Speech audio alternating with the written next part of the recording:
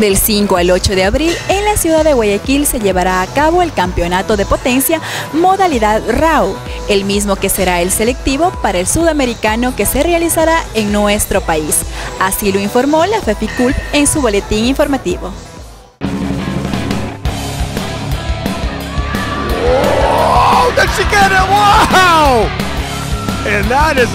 Oh? Wow! La Federación Ecuatoriana de Físico-Culturismo y Levantamiento de Potencia realizó la convocatoria a presidentes de comités, clubes formativos y de alto rendimiento, coordinadores de la FIFICUL, a participar en el campeonato de potencia modalidad RAW. Habrán las categorías novatos y clasificados y el curso formativo de actualización de jueces. Actividades que se realizarán en la ciudad de Guayaquil del 5 al 8 de abril en el Polideportivo Huancavilca. Este campeonato servirá de selectivo para el sudamericano que se llevará a cabo en esta misma ciudad ecuatoriana en el mes de julio.